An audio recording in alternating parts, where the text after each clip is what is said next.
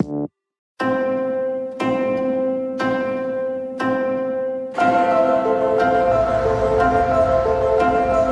called an emergency meeting this weekend. I promised my wife and daughter I'd take them away this weekend, sir. We need to cut 20%. You promised these people good jobs. I thought you'd do anything for this company.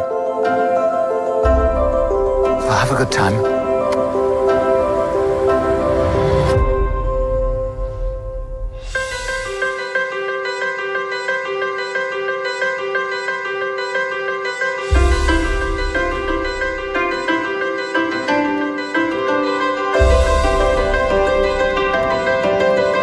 What to do, what to do, what to do. What to do indeed. Who? Christopher Robin. I've cracked. Oh, I don't see any cracks. A few wrinkles, maybe.